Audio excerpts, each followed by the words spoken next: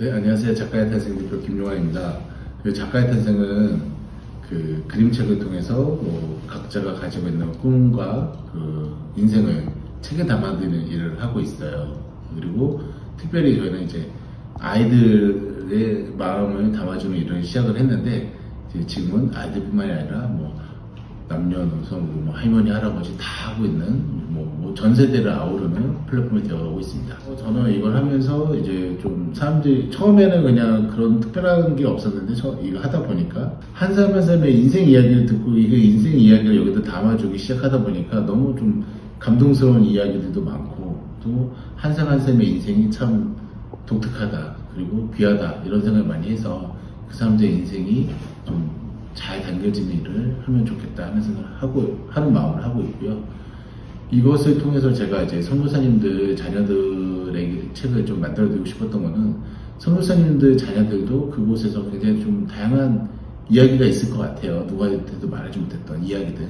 그 이야기들을 아마 이 그림책을 만드는 시간을 통해서 자기 얘기를 하게 되면 굉장히 뭔가 좀 뭐 마음속에 있던 것도 좀 풀리고 뭔가 그거를 남들과 공유하면서 좀 해소되기도 하고 좀 더 즐거움과 자기 만족감 그리고 자존감도 좀 더 높아지지 않을까 이런 생각하고 있습니다.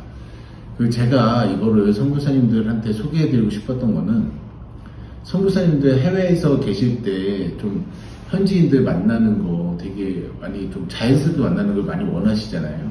근데 만나려고 하는데 뭐 성경책 들고 와서 말씀 들고 와서 하면은 자연스럽게 만나기 좀 힘드시잖아요. 그럴 때 당신의 인생을 책에 담아드릴게요. 요게 어떻게 보면 이 그림책 만드는 게 저는 컨텐츠가 될 수 있다고 생각, 선교의 컨텐츠가 될 수 있다고 생각합니다. 그래서 선교지의 현지인들과 접점을 이룰 수 있는 컨텐츠.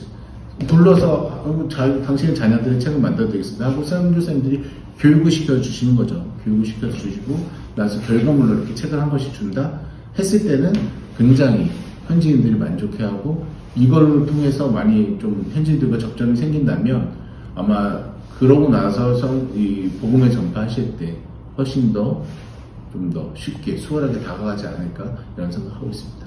그래서 저는 기본적으로 작가의 탄생은 작가의 탄생을 통해서 뭔가 이 성교 사업에 좀 동참하고 싶은 마음이 굉장히 커서 이런 생각을 하게 되었고요.